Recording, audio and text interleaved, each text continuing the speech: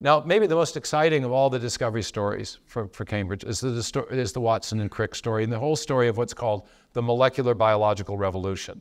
And this is the third big discovery that I talk about that's not compatible with the scientific materialism of Richard Dawkins.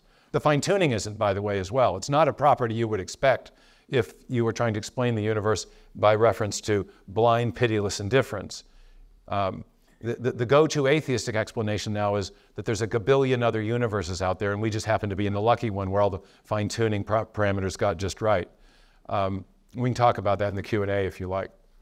In any case, the big discovery, that perhaps the most famous of all the discoveries with God-friendly implications, was the, the, discovery of DNA, and not just the, the structure of DNA, which was first discovered here in 1953, but also the discovery that DNA contains digital information, information in uh, an alphabetic or digital form.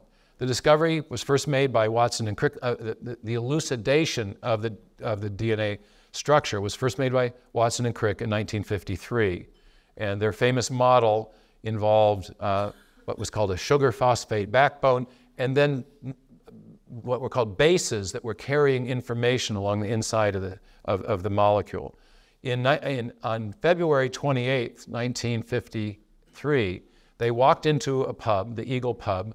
Some of us have been talking about uh, going there and having a pint to celebrate. It's pretty. It's, this was also the watering hole of Wil, William Wilberforce, by the way, um, and it's just it's just steps away from that Cavendish door, which I think is is lovely because inside the Cavendish laboratory, you can look in the window where Watson and Crick were doing their modeling. And so if you find the door, look in the window to the right, and you'll see where they were working out the structure of the DNA molecule. The day they, they, they figured it out and it click, all the pieces clicked into place, Crick stood back and said, It's so beautiful, it's got to be right. And so they walked down the street just a few hundred steps to the Eagle Pub and announced to the people there drinking that they had discovered the secret of life. I don't know if it was drinks on the house or not, but it was a, you know, quite, quite an atmosphere. And today, you'll, right outside the pub, you'll see a plaque, uh, and you can see that if you go on the, well, this, this, these pictures are in your self-guided walking tour. Now, I think an even more significant discovery was made by, by Francis Crick five years later. In, in 1958, he formulated something called the sequence hypothesis. And what he realized was that along the interior of that twisting double helix were chemical subunits of the molecule that were functioning like alphabetic characters in a written language or digital characters, zeros and ones in a section of machine code. You may know that Bill Gates has said that DNA is like a software program, but much more complex than any we've ever written. It's a pretty suggestive remark. We'll come back to that. And Crick uh, was the first to realize that DNA is containing information in a digital form. And what he thought the information was doing was providing instructions for building the big protein molecules that are crucial to keeping living cells alive. You may have seen some of my, my uh, visual aids on this, but proteins are made of smaller subunits called amino acids. And if they're arranged just right, then the forces between them will ca cause these long chain like molecules to fold into very specific shapes. And then those shapes will perform, uh, if, the, if the shapes are right, then they have a hand in glove uh, fit with other molecules in the cell, and, uh, and then they'll do a job. And they do lots of jobs. They do all the important jobs. You can think of proteins as like the toolbox of the cell, just as in the toolbox we have a hammer and a, and a, and a, and a wrench and a saw, and they do jobs in virtue of their their, their three-dimensional shape and structure. Well, the same thing is true in the proteins. Some of them catalyze reactions. Some of them um, express the information on DNA. Others of them form the parts of miniature machines that cells need to stay alive. So there's all this intricate machinery in cells, and it's all made from, and, and, and, and the machines are made of the proteins, and the proteins are constructed as a result of the information on the DNA molecule. So good analogy would be um, something, are people familiar with digital printers? You, are you familiar with those? The way, now we can, yeah, we can use digital code and the printers will print, they don't print out paper, they print out, you know, pieces of garage doors or, or you know, you know, physical objects that do things. Or uh, engineers here will be familiar with the CAD CAM technology, computer assisted design and engineering. In Seattle, we have Boeing, and at Boeing, the, the, uh, the, the, the, the, engineers will write code, the code will go down a wire, it will be converted into another machine language that can be read at a manufacturing apparatus, and then the ap- ap- manufacturing apparatus will put the, the, for example, the rivets on the airplane wing in just the right place in accord with the specifications of the code written by the engineer. So we, use, we do this all the time now. We have digital information directing the construction of mechanical parts and systems.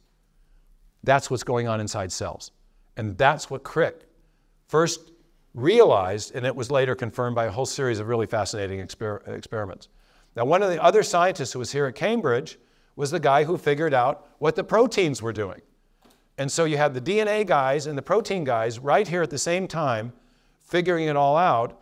And now there's a, a laboratory that, that, and the guy, the, one of the key guys here was named Max Perutz. He got the Nobel Prize in 1962 for his work on protein structure. Watson Crick got their Nobel Prize about the same time.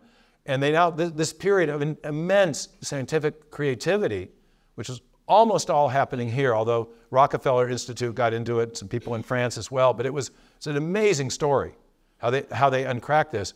What's really fun is that Francis Crick was a code breaker in World War II, and he ended up breaking the ultimate code. The irony is that Crick and Watson were also strict scientific materialists. They were atheists, and they were looking for the material basis for life. And they thought they found it in 1953 until Crick realized it's not just a molecule, it's a molecule that contains code. And that discovery ends up being foundational it provides evidence of what we're going to call intelligent design. And it, it's, it's created a, a complete impasse in evolutionary theory. People cannot account for the origin of the information needed to build the first life or subsequent forms of life. I don't know if, if Doug is here in the room. Uh, we'll hear a little bit later in the week from Doug. He's another great Cambridge scientist, and I don't say that just because he's my friend. He did an amazing bit of work here for 14 years and he interacted with Max Perutz. He was in the laboratory that Watson, Crick, and Perutz and others founded called the, LL, uh, uh, the, uh, the, Laboratory for Molecular Biology, right here. In, so we'll hear a bit more of Doug's story later in the week. But in any case, even though Watson and Crick were looking for the material foundation for life, what they actually found was something more like software. And, uh, and uh, Bill Gates has said that DNA is like a computer program, but far more advanced than ever, any we've ever created. And this is where sort of th- this part of the story intersects with my story. I was I attended this conference that I mentioned in Dallas in 1985. I heard the cosmologists talking about the evidence for a creation event, but I also heard scientists talking about the question of the origin of life and how the new discoveries in molecular biology about the information bearing properties of DNA had completely changed the terms of debate. Turns out, by the mid 80s, no one could understand where this information had come from. That was the thing they couldn't explain. If you want to explain the origin of the first life from simpler, non living chemicals, well, that's all great. You can imagine the chemicals knocking into each other, but how are chemical, undirected chemical reactions going to get you code? That didn't seem very plausible. And one of the scientists at this conference had just written a book called The Mystery of Life's Origin. And in the epilogue to that book, he suggested that the information that was proving so perplexing to everyone trying to explain the origin of life was not evidence of an undirected chemical process, but rather possibly the product of what he called an intelligent cause. And this was Dr. Charles Thaxton, who is in, in Dallas. And his, his reasoning was very straightforward. He said, In our experience, information is a mind product. Software comes from programmers, after all. So maybe you know, we've been working for two decades trying to explain the origin of the information in DNA as a result of chemical reactions, and the chemistry doesn't want to do that. The chemistry, as Jim Tour, you may have seen him online, says chemistry doesn't care about life. It doesn't want to move in a life friendly direction. And so Thaxton suggested, well, maybe what we're seeing is evidence of an intelligent cause. Well, I attended the conference. Friends introduced me afterwards, and I started going to his office late at night. And over the ensuing year, I received some very, very uh, consequential mentoring. And by the time I got to applying for a Rotary Scholarship to come to Cambridge, I already knew what I wanted to work on. I wanted to work on this origin of life question, specifically with, the, with wondering whether there might be evidence of actual intelligent design. Was it possible, I was wondering, that you could formulate a scientific theory or scientific argument for intelligent design? Now, arguably, the person that helped me think this through most was another Cambridge person, again, Charles Darwin. And even though I disagreed with his, his theory about the origin, of, uh, the origin of new forms of life, is he had developed a method of reasoning that uh, directly applied to this origin question. It was a method of historical scientific reasoning. Rather than sitting at the, at, at the laboratory bench and trying to get uh, some process to uh, occur under controlled laboratory conditions, what historical scientists try to do is look at clues and reason back to what might have caused those clues to emerge. My PhD thesis ended up being called Of Clues and Causes. And so, how do you get from the clues back to the causes? And Darwin said, well, there's a way. What you want to do is you want to infer the best explanation. We don't get to see what happened, but we know something about cause and effect, and so we can figure out what is the most likely cause of a given effect that we're looking at in the, in the present if we know how cause and effect works. And while I was working at that, uh, there, uh, at that, there was a young professor from the United States who came to do a, a, a job talk here to candidate for a position in my department, the Department of Philosophy of Science here at Cambridge. He ended up getting the job and he left behind a manuscript for me called Inference to the Best Explanation. And he later came and actually rose to, the, to become the, the head of the department. And um, what Lipt, Peter Lipton was his name, and what he highlighted was a, was a question philosophers were asking. Yes, we see the scientists are doing this inferring to the best explanation method, but what makes an ex- explanation best? And as I got deeper into his work and some of the work of the 19th century uh, philosophers and scientists, I found a consensus was actually already present that the best explanation is the one that posits a cause which is known to produce the effect in question.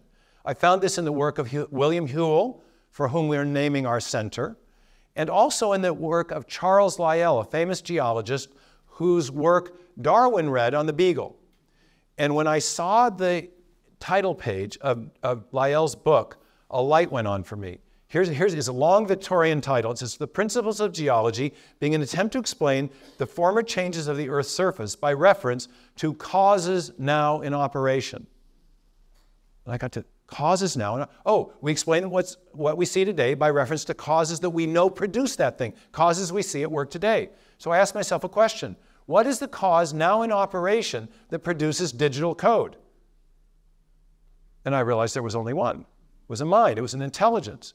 Whenever we see information, especially if it's in alphabetic or digital form, whether it's in a hieroglyphic inscription like the Rosetta Stone at the British Museum, or a newspaper headline, or a section of software code, or information embedded in a radio signal, it always comes from a mind, not a material process.